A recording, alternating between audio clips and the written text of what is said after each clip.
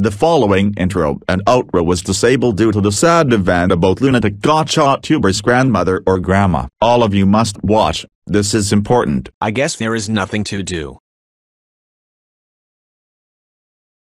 What's wrong? You don't look good. What happened? You gotta drive me to GoAnimate Memorial Cemetery, along with your friends that you trust.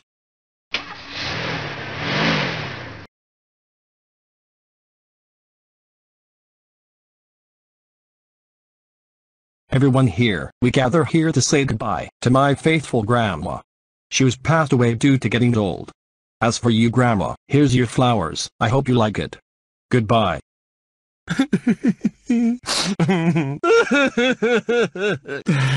I'm sorry, lunatic Yakatuber, I think your grandma is moving to heaven.